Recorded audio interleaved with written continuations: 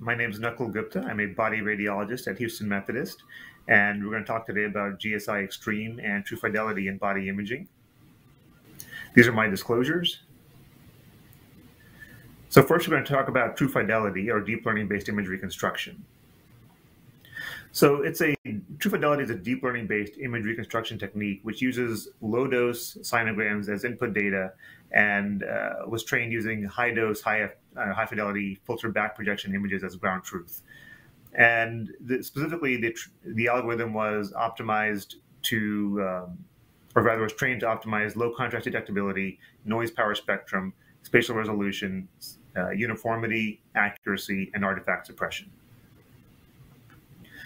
So uh, one of these most important properties is the noise power spectrum, and this is uh, what, what it is, is is the frequency distribution of noise in your image. So iterative reconstruction techniques, for instance, have while they may have lower noise overall, the noise power spectrum is shifted towards lower spatial frequencies, and uh, that's shown in this graph here in the yellow. And that's what thought to result in the sort of blotchy or plasticky appearance of iterative reconstruction images. So DLIR, by contrast, has a frequency distribution or noise power spectrum, which is very similar to FBP, which gives it that more natural texture that we're all used to.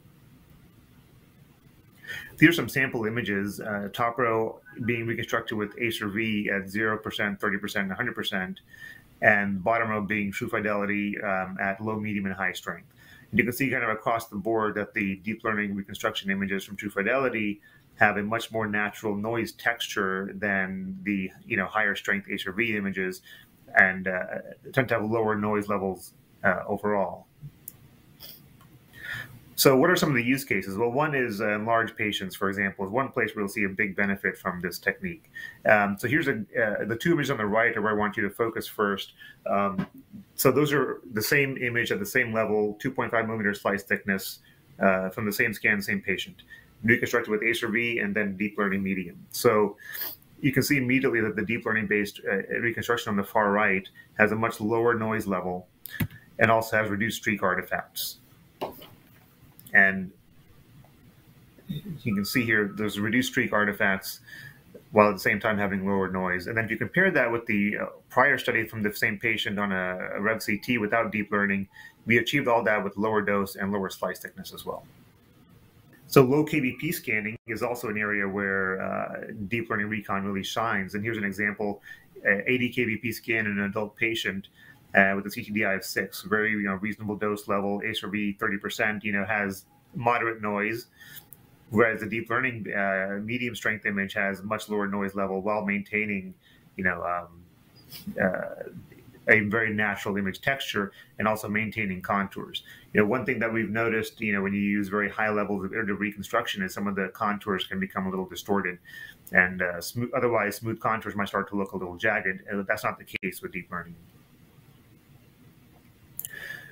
Uh, thin slice scans, another area of strength for uh, deep learning recon or true fidelity. Here's an example. The uh, left and middle images here are uh, a portal venous phase scan uh, of the liver in a patient with cirrhosis and with a uh, left hepatic lobe HCC, which you can see on the far right image as a hypervascular nodule with you know somewhat subtle washout on the portal venous phase. And you can see the ASiR-V image at two and a half millimeter slice thickness and the deep learning medium strength at 1.25 millimeter slice thickness have very similar you know noise properties, very similar lesion conspicuity, despite the reduced slice thickness with the DL recon. And uh, there's a lesion just in case uh, it wasn't uh, wasn't that visible. And then, yeah, you can see here, even objectively, the noise level is very similar between the two images, despite having half the slice thickness on the DL medium. Another example of a thin slice study for hilar cholangiocarcinoma staging. Here's a patient that had a prior study with ASiR-V at 40%, and you can see the subsequent follow-up scan with deep learning has a lower noise, uh, lower noise overall, with a very similar or very natural feeling noise texture, and at the same time having sharper delineation of these intrahepatic bile ducts. And uh, you achieve all these benefits without losing, you know, uh, low contrast or small lesion detectability. And here's a good example of that: patient a prior scan at uh, very similar dose levels on the Rev HD at 120 kilo, uh, kVp. You see in the posterior right hepatic lobe a small low contrast lesion and then on the subsequent scan on the Revolution Apex using deep learning medium at 100 kVp, it's if if anything, it's even more conspicuous than before. So you're not losing, you know, um, you're not smoothing over small lesions here. Uh, coronary CTA was actually one of the first places we implemented deep learning reconstruction, and uh, you can see on this 0.625 millimeter slice thickness scan, uh, the ASiR-V image on the left with 50% strength versus the deep learning medium strength, you get slightly sharper vessel boundaries while at the same time having a more homogeneous blood pool. And uh, we find this to be, you know, uh, we've applied this now across the board to all CTA exams for this reason. And low contrast detectability is another area where uh, deep learning reconstruction can be helpful. And here's an example of that, showing a you know, hypervascular lesion of you know I would say low to mid contrast level, uh, requiring pretty aggressive window level adjustments to make it conspicuous. And if anything, on the deep learning medium reconstruction on the right, you can see that the lesion is more conspicuous than it was on the ASiR-V image. And uh, just to kind of show you guys the contrast level, uh, contrast difference between lesion and background here was about 17 Hounsfield units. And look at that same lesion in the portal, uh, in the delayed phase for the washout phase, and you can see pretty much the same thing. That you know the, the contrast, the target to background uh, contrast is, if anything, more conspicuous on the deep learning medium recon than it was on ASiR-V.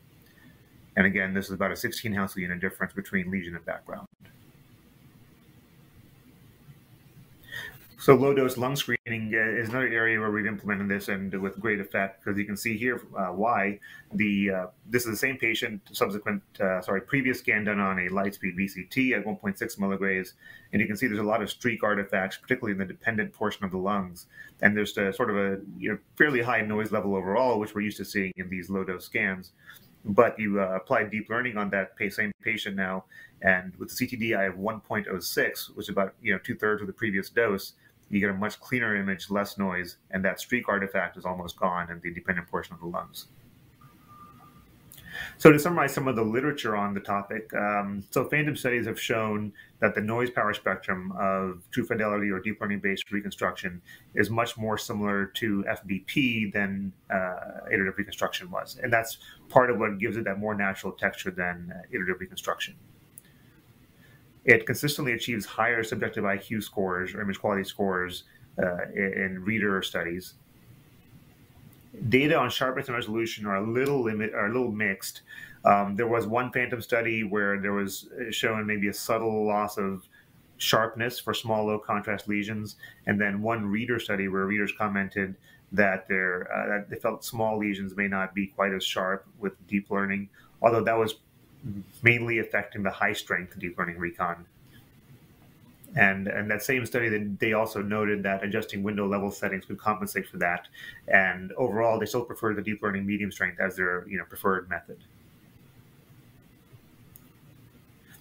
And it has also been shown that uh, sharpness has is actually increased and improved in high contrast tasks like uh, angiography, which we showed earlier in, in coronary angiography and other types of CTA.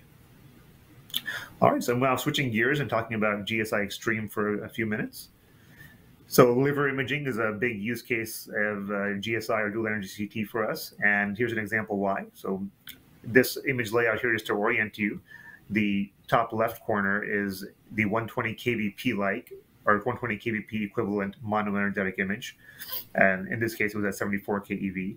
To the right of that, you have a 50 keV monoenergetic image Below that, you have the same 50 keV image, but with a color map applied. And then bottom left, you have an iodine image. So in this uh, case, what you can see is that there is, uh, on, on the 120 kVp image, there's a very subtle area of hypervascularity in the right hepatic lobe, which is very hard to delineate. And you can see that that becomes much more conspicuous when you go to uh, the 50 keV, and especially when you apply the color map to it. The iodine map, again, uh, also very conspicuous and very easy to delineate the borders of the lesion. So it is a very similar case, similar image layout. And again, you can see in this case, the abnormality is more rounded or mass-like in the right lobe of the liver. And uh, same thing, very subtle and hard to delineate on the 120 kVp-like image. But uh, once you go down to 50 kV and look at the iodine maps, it's you know a much uh, more conspicuous lesion, much easier to detect, and much more uh, easy to delineate. Pancreas is another area where GSI can be tremendously helpful. Uh, this is an example of a patient. She's a 72 year old lady, and uh, the top image is a coronal sort of magnified view of the pancreatic head from her prior study, which is at single energy. And you can see there's a you know a sort of complex cystic lesion in the pancreatic head, a couple of calcifications in it, and you might be able to make out a few septations, but it's hard to sort of get a feel for the true complexity of the lesion. Now you look at the iodine map uh, right below it. I, you know they're co-registered to as best we could, given the, that they were from different scan sessions. Um, but you can see far more detail in the lesion. You can see the septations much more clearly, and the sort of enhancing soft tissue elements much more clearly. Uh, another use case in the pancreas is in uh, neuroendocrine tumors or hypervascular pancreatic lesions, and you know these can be fairly subtle on uh, CT, and you know, in fact, this patient had a single energy scan done about a few months prior, which uh, didn't show any abnormality. And but the surgeon was still convinced that the patient had an insulinoma based on labs and clinical presentation. And so we did a follow-up study then with dual energy, and here you can see the result of that. This is a similar layout to the previous cases where we have on the top left your 120 kVp-like image, and then your 50 keVs on the right, and then iodine on the bottom left. So uh, if you look at the mid body of the pancreas on the 120 kVp image, it's very difficult to appreciate that there may be a subtle hypervascular mass in the body of the pancreas. Now you move to 50 keV, especially with the color map applied, and it's much more plainly visualizable or visualized that there is a hypervascular lesion there, and uh, certainly so on the iodine map as well. Um, and uh, one other area that we use uh, GSI or dual energy is in uh, interventional oncology. And here's an example of a patient. The top left image here is the MRI, where you can see a, an enhancing mass in the posterior right hepatic lobe. And this was an HCC in a cirrhotic patient. And we were going to do an ablation. And on the unenhanced CT, you know, the lesion can't really be seen. And so, let, so we did the ablation, and we wanted to make sure because we couldn't really tell where the lesion was on the CT, we wanted to be sure we got the whole thing. So we went ahead and did a, a GSI scan, and you can see the ablation cavity there, uh, perfectly matching the lesion, and with sort of the surrounding rim of hyperemia, but without any nodular or mass-like residual tumor. And sure enough, you do the, you know, comparing with the subsequent MRIs, uh, you know, six weeks later, you can see that sort of a perfect match between the ablation cavity on the GSI image and on the MRI image. So a nice uh, correlation there. And so, uh, what's changed for us now with the Quantix tube and uh, having that extra photon flux is we're able to do GSI on larger patients than before now. And here's a couple of examples of that. So, uh, PE studies we generally before the Quantix tube would have limited to a BMI of 32 or lower. And here's the case of the BMI of 38. This lady had um, a PE study and uh, 1.25 millimeter slice thickness, and you can see the iodine map is you know uh, very homogeneous, not a lot of you know not too much noise, not too much artifact, very usable iodine map, which previously um, we would not have expected at this BMI. And on the right, you have a couple of images from the abdomen and pelvis. This is a patient with BMI of 50, and you can see in the abdomen, you know, where there's certainly a little bit of streak artifact happening, but you know, otherwise it seems to be a very usable image. Uh, although in the pelvis, we certainly ran out of photons there. Uh, so that's uh, so you know usable in the abdomen. That BMI probably not in the pelvis. Um, and then the chest imaging, you know, another area where we use uh, GSI or dual energy, and you know we use it more for the virtual monoenergetic imaging, not as much for the iodine maps. Um, and here's an example of uh, why we like it here. And you know, uh, once in a while, despite your best efforts, you're going to get a suboptimal bolus in the pulmonary artery. And here's an example of that. Top image is, you know, your 120 kVp like image. So, you know, we're only getting 110 Hounsfield units in the pulmonary artery here. Whereas, you know, and normally we would have had to re-inject the patient and try again and uh, re-irradiate the patient. But here is a case, you know, we can just, you know, lower the kV to 50 kV and now we go ahead and we have uh, 207 Hounsfield units and have salvaged the, an otherwise non-diagnostic exam. All right, um, and that's all. And these are some of the references if you have uh, if you want to explore further any of these topics. And thank you very much.